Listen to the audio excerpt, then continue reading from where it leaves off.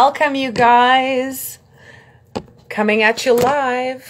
Today was fantastic. Um, I had an interview with our wonderful mayor, Marianne Meed Ward, on Get the Get to Know Her show. So uh, she's actually going to be coming on to join us here on Instagram in uh, just a few minutes. But uh, really, really happy to have you guys. It's been exciting. This is, um, I was saying on Facebook, this is actually the one year anniversary of me starting the show. And uh, it wasn't always called Get to Know Her, that came later. But um, oh my gosh, when I first started doing this, I had no idea what the heck I was doing. I was actually uh, interviewing my guests on a phone using the speaker phone to uh, to bring them on. Um, anyway, it was so so funny. So progress, everything's about the progress. So if there's something you're not sure about, just keep trying, keep going for it because you'll figure it out. Believe me, you will figure out. Hello. There she again. Hello again. This is so nice to have you here we're gonna we're gonna keep you for another ten minutes and hog you to ourselves for ten more minutes. I'm good. I I want to know, you know, Mayor Ward, when I picture you getting up out like getting out of bed in the morning and doing your thing, I imagine the high heels going on and then it's like one meeting to the next and I see sparks flying from your heels as you're going through your and maybe your dog Boston like in tow, you know, making sure you get to everywhere on time. But but walk us through a day in the life, especially uh, with the pandemic. How are you managing? What is what do your days look like?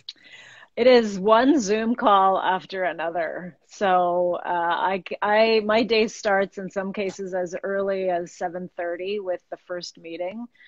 Uh, and and you're obviously up before before that doing emails and getting ready and all that. So uh, and and my days can go until with meetings till 10 o'clock at night.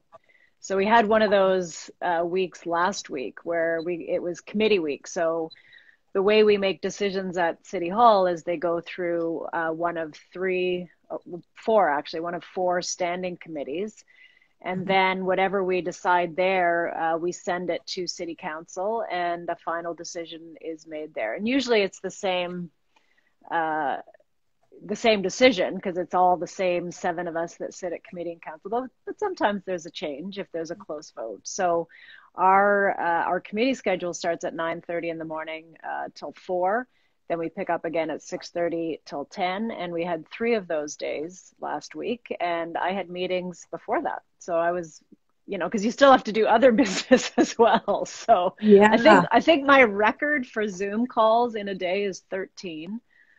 Oh my goodness. Do you have those glasses that protect your I, eyes? I should. This? I've seen them. Yeah. Uh, Je- Jennifer Lopez pops up in my Instagram feed every now and again with the blue the the blue uh the, the, blue screen glasses. I need to get a yeah. pair of those. But yeah, I was talking to my uh, siblings all live in the states and I was talking to one of my sisters and she said mm-hmm. I did two meetings, two Zoom calls in a week and I was exhausted and she's like you do 13 a day. It's like yeah yeah so, so crazy do, it is it is a lot of um, i mean it's it's a great way to actually workshop things and um, you know talk to people and and move the business of the city forward but mm-hmm. it, it can be exhausting to be For on sure. camera that that much now speaking of exhaustion how are you in the mornings? Like, I'm the kind of person, I love what I do every day. I want to say that I spring out of bed, but I don't.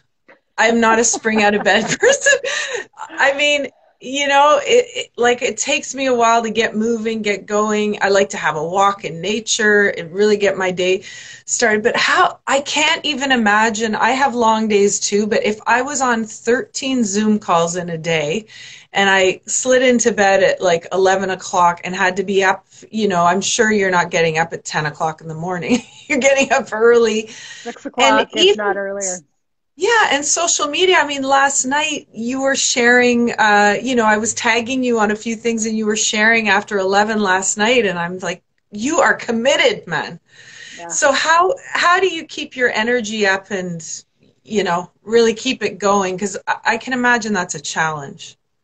It is a challenge. And, you know, it's interesting. I am a night owl. I always have been. And so uh-huh. it is, I get, I get more and more energy through the day. And so, uh, especially, you know, the work we, that I do is very mentally uh, stimulating and very mentally demanding. You're thinking about things, you're reading reports, you're talking to people about, you know, what should we do next? You're planning, you're strategizing. It's very, uh, it's very intense uh, brain work and so it's hard for me to shut it off. Uh, mm. And that's that's kind of always been the case. So it's really hard for me to wind down. And so my whole life, I've I've not functioned well at all in the morning. I yeah. you know I would stay up all night before I would get up early in the morning, but I've had to reset that right because. Yeah. Uh, out of necessity. And it is still really hard for me to dial down at night. Mm-hmm. Uh, and I I play um, uh, I played like Sudoku or I, to distract myself, right? Or solitaire. Right. These were these were brain th- different kind of brain work. I mean, I know it sounds ironic when you're trying yeah. to calm your brain down, but uh, these were things that I uh, had to do after I was in a car accident in 2015 and had a concussion. And these were the exercises that that was, were given to me to literally exercise my brain and in a healthy way. So yeah. I've just kept that uh, that habit up. But um, so I'm not a morning person, um, but I've had to become that. Right? It's yeah. like that that adapt adaptation that we all have to do, and to right. make space in a in a busy calendar for you know last minute things that come up. My schedule gets earlier and earlier. so yeah, I'll bet. but I love what I do, so it is. Yeah. Um, so once you're up, you're good, up. right? Yeah, it's just getting the blood flowing. Once you're up, you're ready to go. Now, if you need, i I've got a hot tip for you if you have trouble falling asleep. I do. A friend got me into the, so Matthew McConaughey does a sleep app. Oh, good grief. so I always, I, every night I say to my husband, Matthew and I are, you know, I'm going to bed with Matthew tonight, but I put it on. It's so good. He just tells stories and I'm, I'm drifting off in like five, ten minutes. That's awesome. That's good. It's I so envy cool. people that can fall asleep quickly. I've ne- that's never been something I could do, and and uh, that's why I, you know, would stay up like literally all night. I've pulled so many all nighters in my in my life through university, yeah. through even even on this job uh, through the pandemic. There's been a few times. Uh, yeah. I, I couldn't sleep and I figured I might as well be productive. So you work, work, work, and then all of a sudden it's five o'clock and you're getting up, you're getting up for the yes. next day. So, yeah.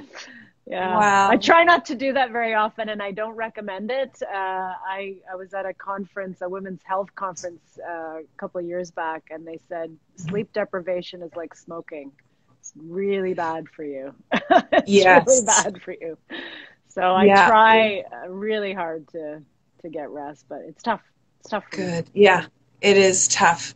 Um, I also wanted to share with you. Have you heard about uh, Amy Poehler's new Netflix movie? I'm sure you don't have tons of time to watch Netflix, but it's called Moxie. I don't know if you've heard about it. It just came Amy out on. Poehler. Oh, you love her? Uh, yeah, I do, but I haven't okay. heard about it. Yeah. You you will love this. Oh my God. Okay, so the movie is about um, a, a woman who has a teenage daughter, and the teenage daughter starts a revolution against the patriarchy in high school. And it is so good. I watched it, and my husband, like, we were cheering. It, it was so, so good. So if you have time, um, you know, just in celebration of International Women's Day and this whole month, and it cool. should be, you know, every day we celebrate being a woman. Check it out. Yes. You'll have to check it out. Yeah, you'll just love it. Yeah. Well, I'm going to let you get on with your day now. I'm so happy that you took the time, and I can't wait to interview, uh, you know, some more of the women who are so powerful and tightly connected with you. I'd love to have them on the show to share their stories, and your story is amazing. Thank you. I um, really appreciate the opportunity, yeah. and, and I hope uh, it's been helpful to your viewers as well. Yeah, it's been great. For sure, it has. Good. I'm so glad. All right. Thank you. Take care. Take care. Yeah. You have a wonderful day. You too. Thank you. Bye bye bye.